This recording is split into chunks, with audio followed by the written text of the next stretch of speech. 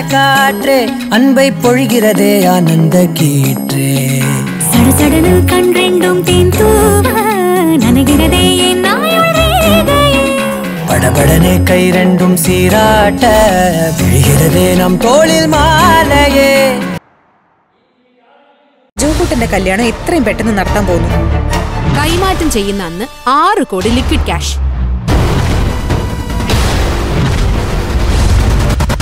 സാറാന്റിയുടെ അടുത്തും ആദത്തിന്റെ അടുത്തും ഞാൻ കാണിക്കുന്ന സ്വാതന്ത്ര്യം വന്നു കയറുന്ന പെണ്ണിന് ഇഷ്ടാവില്ല.